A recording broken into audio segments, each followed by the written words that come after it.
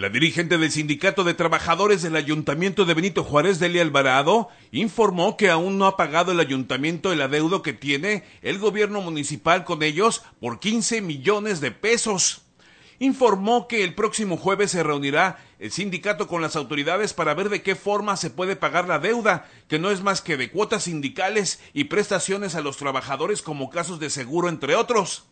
El tesorero por lo pronto manifestó que iban a ver cómo le van a hacer ante la serie de problemas que tienen para pagar, ya que solamente de intereses y pago a capitales de las deudas extraídas son más de 10 millones de pesos mensuales que tienen que pagar.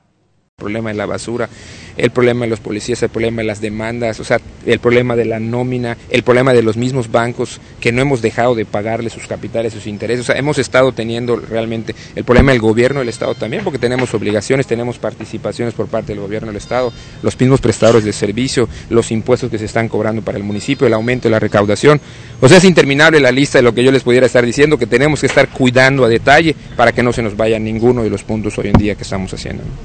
El ayuntamiento en sus finanzas tiene un serio problema de desfalco, pero lo último que se quiere es que haya una mayor deuda contrayendo créditos bancarios, por lo que una reestructuración por el momento sería viable.